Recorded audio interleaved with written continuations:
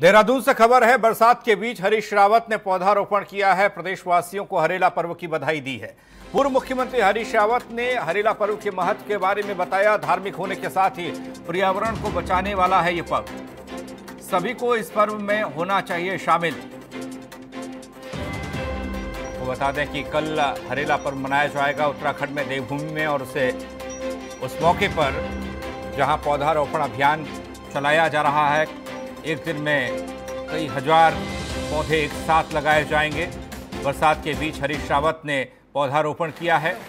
सभी को इस पर्व में शामिल होने के लिए कहा गया है। बरसात के बीच हरीश रावत ने वृक्षारोपण किया। तस्वीरें आप देख सकते हैं। देशवासियों को हरेला पर्व की बधाई दी।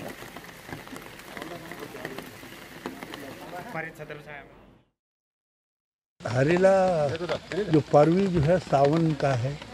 और ये शिव पार्वती असल में ये नंदा को याद स्वरूप जो है मायके से हरियाली भेजी जाती है। तो उसी को आधार पर ये हरेले का त्यौहार बना हुआ है।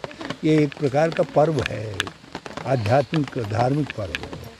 और इसके साथ अब वृक्षारोपण भी जुड़ गया तो सोने में सुहागा हो गया लेकिन बाकी मूल मूलतः इसका स्वभाव जो है वो हरेले का है।